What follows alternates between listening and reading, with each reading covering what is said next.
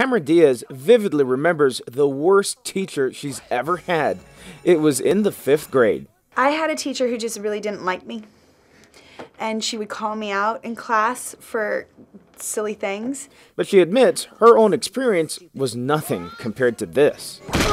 Whoa! Cameron Diaz is the bad teacher in this middle school comedy. She steals from them. She, you know, she doesn't teach them anything. She sleeps through class. Diaz's ex boyfriend and co star Justin Timberlake says the teacher has an excuse. She only falls asleep during class because she has a night job, which is trolling the bars. Hold his arms. On the set, all that bad behavior made for good times. I didn't realize you were actually hitting the kids with the ball Oh, yeah.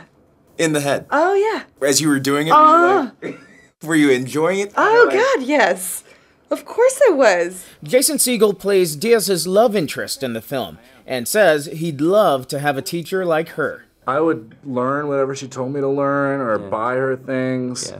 or take compromising photos of her. Shut the front door. British actress Lucy Punch says it wasn't as much fun playing the nice teacher. I am nothing like that character. Um, at all. She's so irritating. While sophomoric antics rule, the bad teacher isn't really for kids. It's rated R. Kendis Gibson, CBS News, Los Angeles.